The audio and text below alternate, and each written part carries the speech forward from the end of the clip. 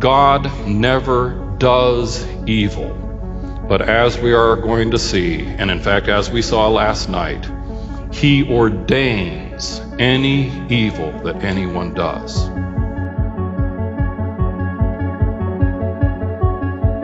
So I wanted to make a video just explaining a bit about what my motivation is, what my purpose is in making videos about Calvinism, and answering kind of why it is that I'm interested in this topic in the first place and why I think it's important. So I became interested in the topic of Calvinism probably around 10 or 11 years ago. And it, it really started due to Romans chapter 9. So I, I definitely would not ever um, say that I was a, a Calvinist um, in any real true sense. More just that I was open to the ideas of it. You know, my mindset at that time was that when I thought about that being possibly what Romans 9 was communicating, you know, more of a deterministic, uh, fatalistic, I think, view of God and the world, when I would think about that, you know, I had some moral and emotional apprehensions toward it,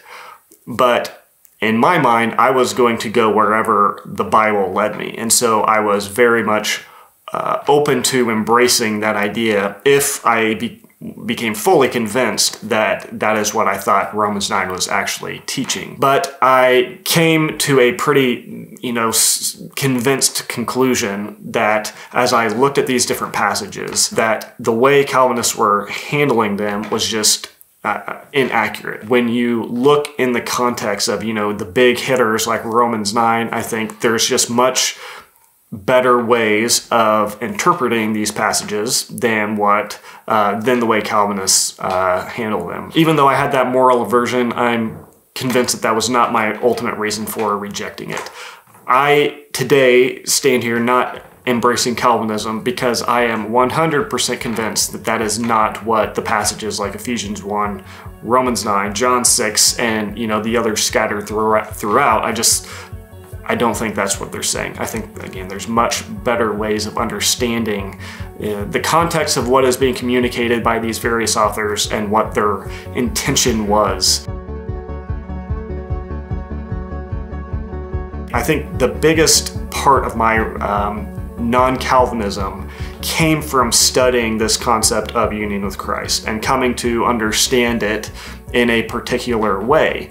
And when I came to kind of my conclusions about what I thought it means to be in Christ, how that happens, when it happens, who it happens for. So it was by looking at that concept of union with Christ that then I recognized, um, at least from my opinion, my understanding, the way I see it now is that when you understand what it means to be in Christ and the things surrounding that, I think the ideas of Calvinism become impossible. Union with Christ begins to sort of dismantle and, and, contradict these Calvinistic ideas. Once again, the purpose of this video is not to dive into unpacking all that stuff, but just to, to give you a bit of a brief summary, I guess, of, of why I'm interested in this in the first place and that I, I want to um, dive into some of these things. And so I plan to do that in the future. I do have a playlist that I've made that has all of my videos about this topic, about Calvinism, that I'll put in the description of the video if you're interested in checking some of those out. So we want a handle on how to manage this paradox or mystery that God forbids things he brings about. And God commands things that he hinders from happening. Without this category of thought, I don't think you can make sense out of the Bible.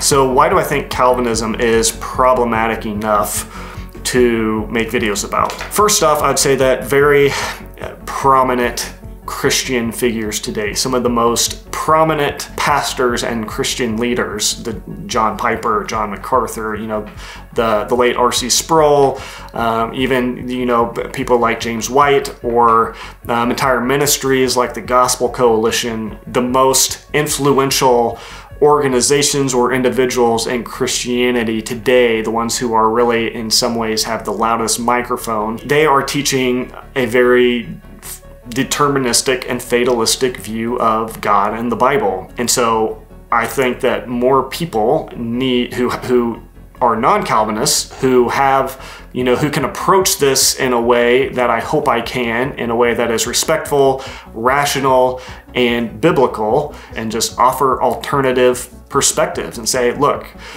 when you listen to these guys, it seems as if, you know, this is the gospel. You know, Calvinism, tulip is the gospel. It's basically you either believe the the doctrines of grace, you you embrace tulip, or you reject the obvious teachings of the Bible. That's sort of the idea.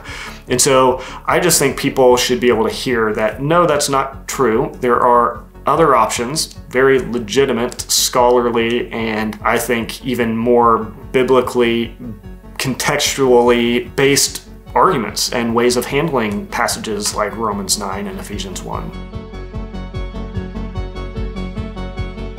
The third chapter of the Westminster Confession begins with these words God from all eternity did, by the most wise and holy counsel of his own will, freely and immutably ordain whatsoever comes to pass. Has God predetermined every tiny detail in the universe, such as dust particles in the air? And then I should add here, including all our besetting sins. Yes.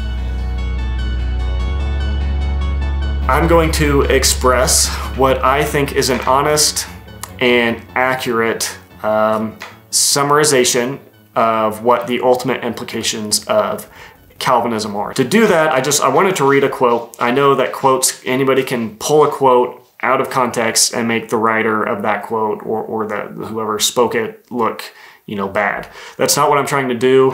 Um, I think that this quote is a reflection of an overall stream of teaching, whether from John Piper or, or you know, what I'm going to read from John Calvin, sort of again the prominent Calvinist figures. I think this, this what I'm about to read is a is a kind of summarized representation of what some of the ultimate conclusions of Calvinism um, uh, are. So, John Calvin says how foolish and frail is the support of divine justice afforded by the suggestion that evils come to be, not by his will, not by God's will, but by his permission.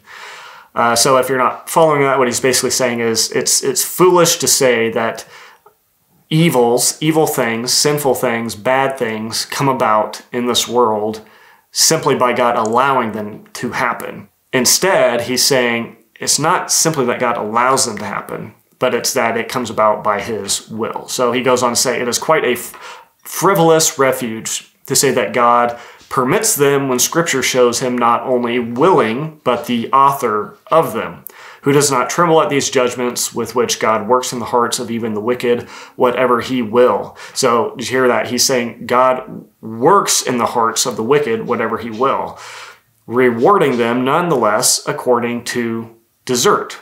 Again, it is quite clear from the evidence of Scripture that God works in the hearts of men to incline their wills just as He will, whether to good for His mercy's sake or to evil according to their merits.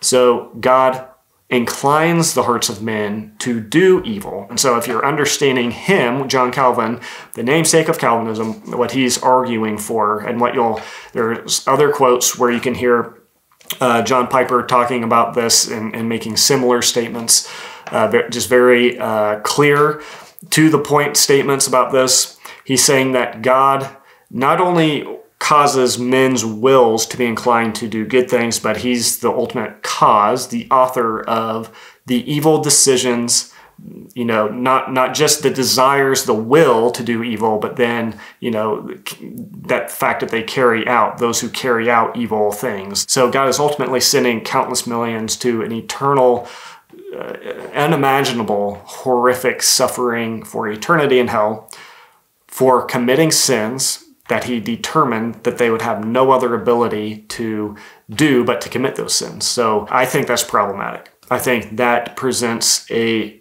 view of God that is a bit um, not not to be abrasive for the sake of being abrasive, but I think it's a bit monstrous, um, and I think it's unjust.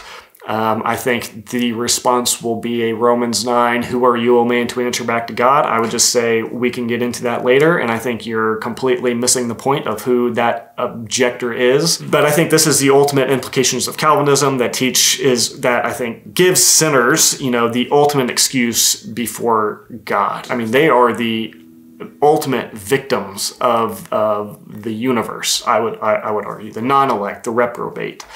And so I think this presents a, a pretty distorted view and understanding of God, what he's like, what he thinks about people, and the limits and bounds of his mercy, grace, and love. So, my point here I'm not trying to be a heresy hunter, I'm not trying to demonize people who believe this. I'm not trying to say they're not Christians.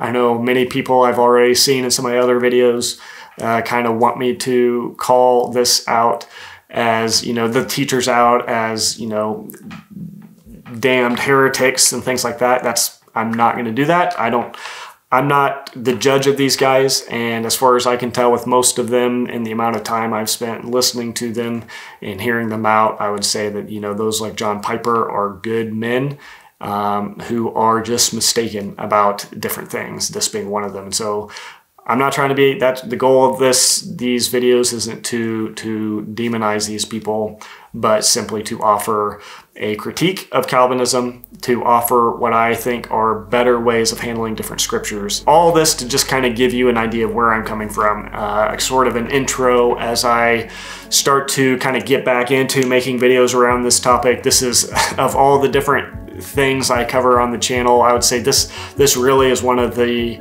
the topics I'm most most passionate about. You know, one of the goals of this channel is just to do what I can to kind of speak into and, and critique what I consider to be harmful views of God. I do ultimately think that Calvinism and its implications, if people embrace the ultimate implications of this system, I think it's harmful. I think it's harmful emotionally and spiritually. I think that can be demonstrated in a variety of examples, documented examples, um, whether it's from articles or videos, uh, people leaving Christianity as a whole. Uh, because of Calvinism, I think, you know, even moments where there's evangelical uh, situations going on, people trying to evangelize, and Calvinism becomes sort of this stumbling block. I, I've seen a whole variety of things. I've seen enough to to be convinced that I think it is harmful, it is detrimental um, to those, I think, that again embrace its ultimate implications and then really consider that as they try to live life. All this to say, I hope you understand a little bit more where I'm coming from as, as I get back into making some videos on this topic. Yeah, feel free to subscribe if you haven't already, if you're new to the channel. And I'd also love to hear your thoughts, your, your comments and, and questions. If you're Calvinist who completely disagrees with everything I'm saying, thinks I'm an idiot. I'm fine with that. I'd love to hear from you guys as well. And as uh, best as, as we can, let's just engage, you know, whether it's in the comments or other places, in some healthy, respectful conversations about these things. And um, I think everybody should be allowed to have an opinion and questions around this and to be able to express that to each other in a way that's not, you know, vitriolic and um, aggressive. I think there's a way to engage in this conversation with each other that is loving, where we look like children of God, and that is a light in the world.